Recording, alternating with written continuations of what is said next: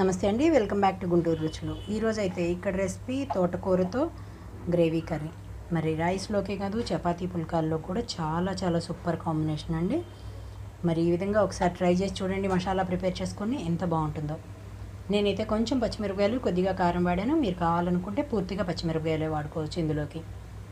మరి ఇంగ్రీడియంట్స్ ఎలా వేసాను ఏమేమి మసాలా అనేది అయితే నేను వీడియో చేస్తూ చెప్తాను. ఈరోజైతే ఇక్కడ తోటకూర కర్రీ కోసం అండి చూడండి ఇక్కడ నేను తోటకూర రెండు కట్టలు తీసుకున్నాను. సన్నగా కట్ చేసి పెట్టుకున్నాను కాడలతో సహా చిన్న చిన్నగా కట్ చేసుకున్నాను. మరి ఇందులోకి అల్లం వెల్లుల్లి జీలకర్ర పచ్చిమిరపకాయలు కలిపి గ్రైండ్ చేసుకుంటున్నాను. తాలింపులోకి ఉల్లిపాయలు తీసుకున్నాను. అలాగే టమాటాలు రెండు మీడియం సైజువి. దీంతో పాటుగా మిగిలిన ఇంగ్రీడియంట్స్ అన్నీ కూడా నేను చెప్తాను. ఇక్కడైతే పచ్చిమిరపకాయలు అలాగే అల్లం కూడా మిక్సీ జార్లోకి వేసేసుకుంటున్నాను. దీంతో పాటుగా వెల్లుల్లి అలాగే కొంచెం జీలకర్ర కూడా వేస్తున్నాను. వీటితో పాటుగానే కొంచెం పచ్చి కొబ్బరి కూడా వేస్తున్నానండి. ఎక్కువ వేయట్లేదు ఒక టూ ఇంచెస్ పీసెస్ వరకు వేస్తున్నాను ఇందులోకి. ఇవన్నీ కొద్దిగా గ్రైండ్ చేస్తున్నాను.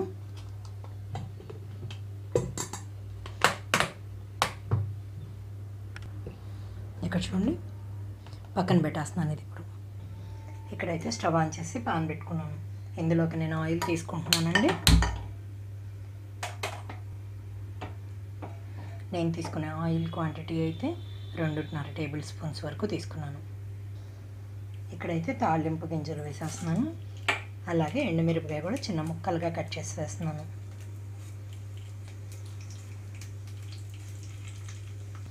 వీటితో పాటు కరివేపాకు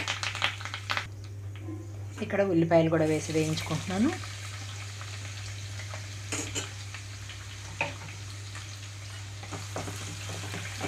ఇక్కడ ఉల్లిపాయలు కూడా మనకి కొంచెం సాఫ్ట్ కలర్కి వచ్చే వరకు వేగిపోవాలి.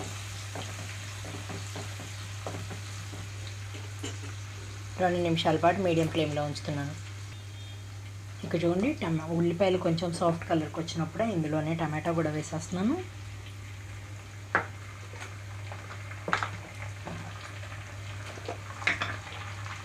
టమాటోతో పాటుగా పసుపు అలాగే సాల్ట్ కూడా వేస్తున్నాను. సాల్ట్ కూడా కూరకు తగ్గట్టుగా ఇప్పుడే వేసేసుకుంటున్నాను.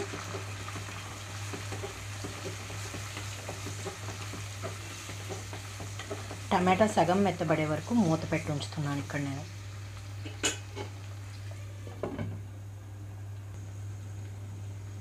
కొంచెం సేపటి తర్వాత మూత తీస్తున్నాను ఇక్కడ.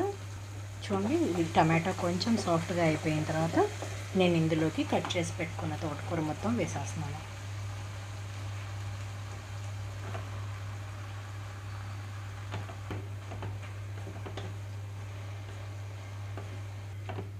తోటకూరని కొంచెం మూత పెట్టి మగ్గనిస్తున్నాను ఇక్కడ.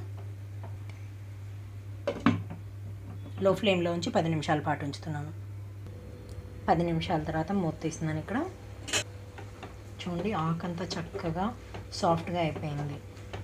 ఈ నీరంతా కూడా మనకి మీకు గ్రేవీగా కావాలి అనుకుంటే ఈ నీ ఇందులో ఉన్న నీటితో పాటుగా ఇంకొక హాఫ్ గ్లాస్ యాడ్ చేసుకోవచ్చు. చక్కగా మనకి గురుకూరలాగా కావాలి అనుకుంటే మాత్రం ఇంకొక ఐదు పది నిమిషాల పాటు మూత పెట్టించాలి నేను ఈ కన్సిస్టెన్సీలో ఉన్నప్పుడే నేను గ్రైండ్ చేసి పెట్టుకున్న కొబ్బరి పచ్చిమిర్చి ముద్దని ఇందులోకి వేస్తున్నాను.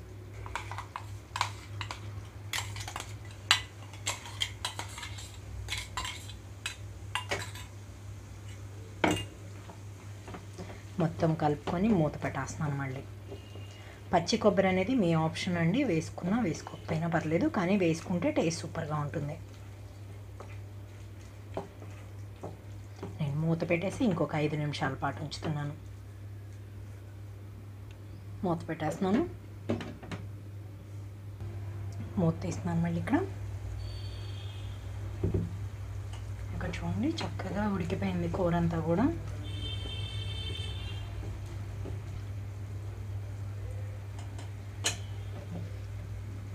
నాకు సాల్ట్తో సహా పర్ఫెక్ట్గా సరిపోయింది. కొంచెం కారం వేస్తున్నాను అలాగే ధనియాల పొడి.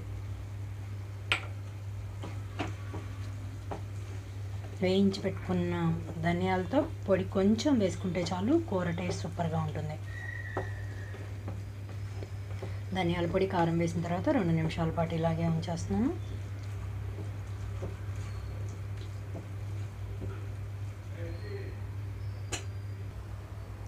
చూసారు కదా తోటకూర కర్రీ రెడీ అయిపోయింది.